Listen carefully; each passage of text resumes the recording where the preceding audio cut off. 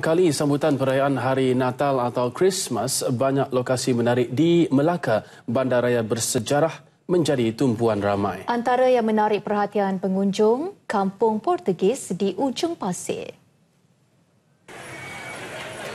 Selain pengunjung tempatan, lokasi seperti Sungai Melaka, Menara Taming Sari dan sekitar Bandar Hilir yang menempatkan pelbagai produk pelancongan sering menjadi destinasi kunjungan wajib bagi pelancong asing. Tambahan pula kesan peninggalan sejarah sewaktu zaman penjajahan Portugis, Belanda dan Inggeris masih boleh dilihat dan diimbas jelas di tempat-tempat ini.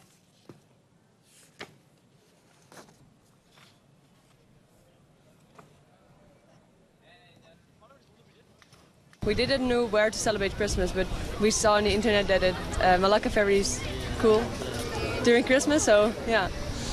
And we are in Malaysia to experience the different local foods.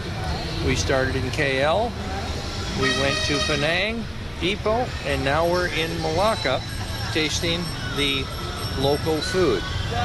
And we really, really enjoyed the Nonya that we've had so far. Yeah, very different from our own celebration, but that's okay. It was interesting.